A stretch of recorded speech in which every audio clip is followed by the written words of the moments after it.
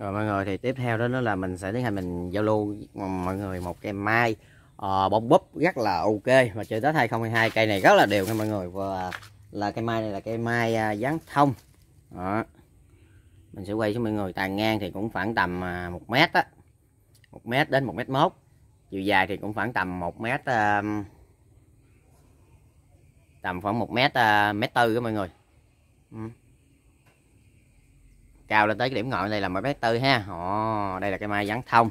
Tầm ngang tầm một mét hai. Hai chục bốn chục sáu chục tám mươi.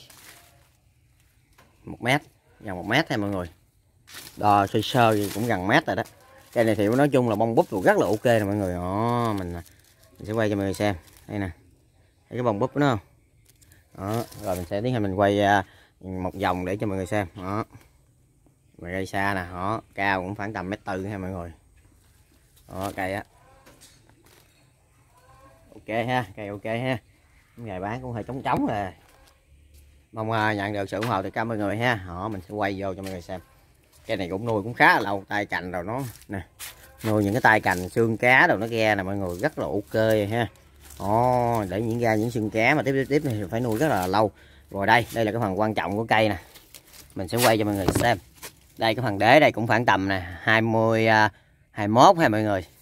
Ồ, rất là to nha. Đế đây nếu mình để xuống đây là rất là to có đế nha mọi người.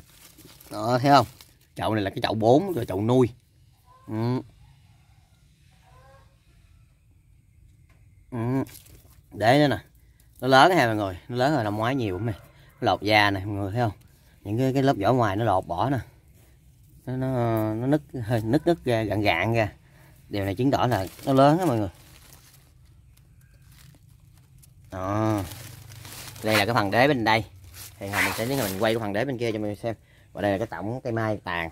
Đó. Thấy không? Dán thông cụ cây lùm rất là lùm nha mọi người. Đó. rồi thì cây mai này là nó cũng là ghép cúc ờ, bốn lông ha mọi người. Rất mất mong ờ, nhận được sự ủng hộ. À, mình sẽ tiến hành mình quay phần đế bên đây cho mọi người xem. Ở đây nè đây phần đám đây thì cũng nói chung là cũng khá là đẹp nha. À, thấy không? Nòm xuống nè. Cộng bự bự không? Cộng cả nhúng ngón chân cái cho mọi người. Cây này nói chung là nó lớn mạnh ha. Và nó nè nó xù săn sùi vậy nè mọi người thấy không?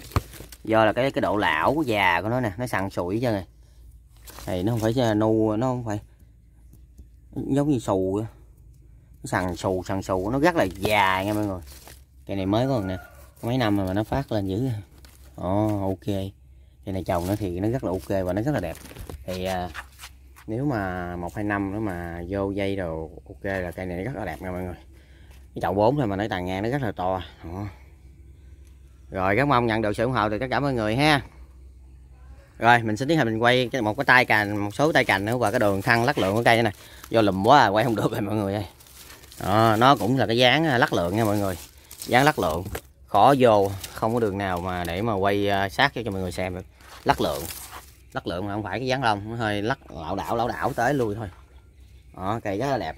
Chừng tết rồi thì ok thì mong nhận được sự ủng hộ từ tất cả mọi người ha. Rồi lần nữa công viên xin à, xin chào ha.